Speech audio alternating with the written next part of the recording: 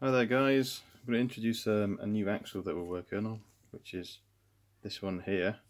Um, but first of all we'll start off with this. This is what most of you will know as a, a WPL or JJRC or Halifa style axle. It's got a 3 mil shaft and crown wheel pinion.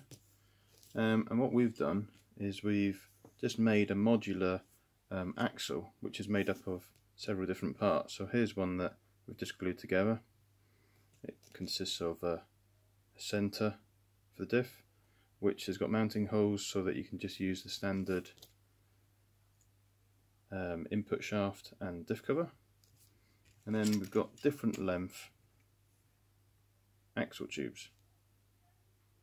So if we just look at this here, in here, that locates in there, that would then be glued and then you can now mock up your axle. Obviously that one's not the right one there, but um, you know you can move the the mount further in or further out, however you want. Obviously you have different length axles.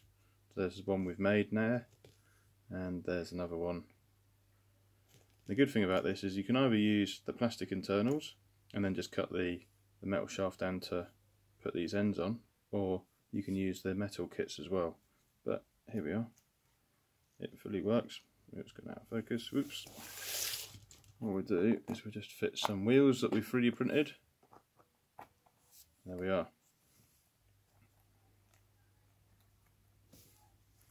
There's our axle. So, it's quite a narrow axle there. But if you just give me one second, I will then show you another one. So we take this out of the way. Here's another model that I'm building at the moment. It's a 116 scale Kübelwagen. And if we just take this all out of here, here is another axle we've been building. This time it's got little four link brackets. So we've got damper mount at the back, and then these are the four link brackets.